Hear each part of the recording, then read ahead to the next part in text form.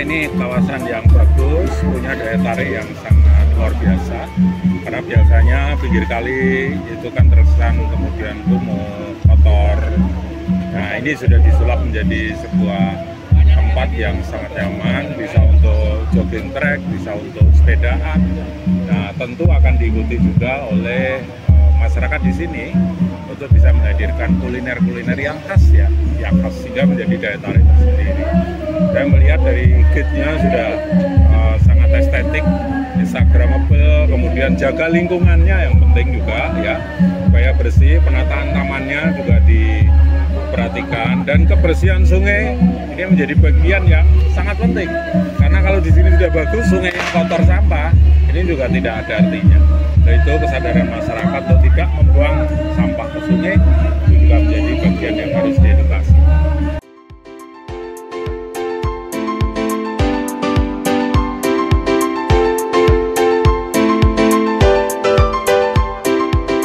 kehadiran taman di sini menjadikan warga masyarakat Pawrebejan bersama LPMK sangat antusias ya, menyambut kehadiran taman ini ya.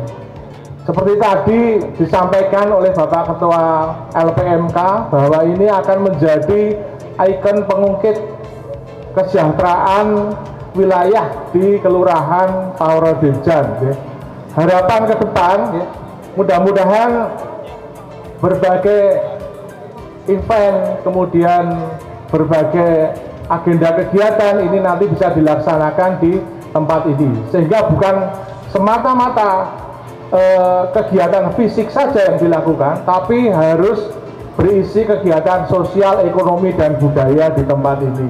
Sehingga nanti akan ada roh yang hidup di wilayah ini menjadikan wilayah ini optimal sebesar-besarnya manfaat bagi kemakmuran warga masyarakat di lingkungan Kelurahan Payura Dejan khususnya dan umumnya Kemantren Gondomanan.